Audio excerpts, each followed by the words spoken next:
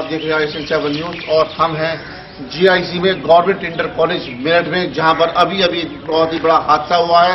उस हादसे के बारे में हम आपको बताते चलते हैं। वैसे यहाँ पर नॉर्मली रोज की तरह से आम परीक्षा जो हो रही थी, उसी में ये ये हादसा हुआ है और हादसा इस तरीके से हुआ कि यहाँ पर परीक्षा चल रही थी और सिक्योरिटी के कुछ लोग, जिसमें सिपाही और पुलिस वगैरह भी इन्वॉल्व थे, वो लोग यहाँ पर अपनी ड्यूटी दे रहे थे और बाकी लोग भी अपना कार्य बिल्कुल सही तरीके से कर रहे थे। तभी एक पुलिस वाले एक पुलिस वाले ने यहाँ पर दारू का सेवन करना शुरू कर दिया था, जिसको रोकने के लिए दो अन्य कर्मचारी आए और उन्होंने, उन्हें रोकना शुरू किया।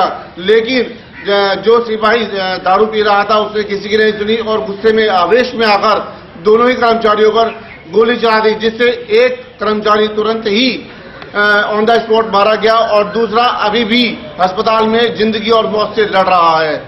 मैं कैमरामैन अजीत सिंह के साथ हाँ जी। पिंटू के नाम से मेल है आपके पासवर्ड है आपके पास?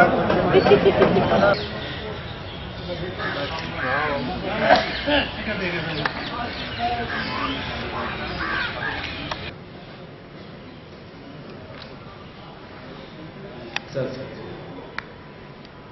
ji sir ji sir sir sir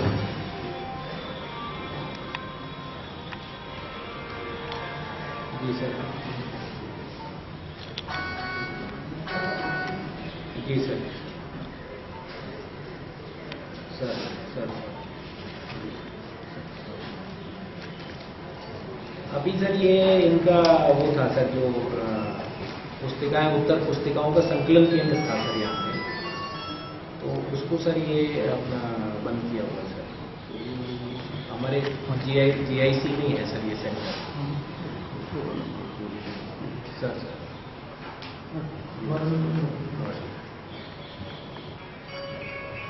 जो आप बता रहे हैं कि सरकारी कर्मचारियों का बात करना चाह रहे हैं। वो भी बात करके फिर कंफर्म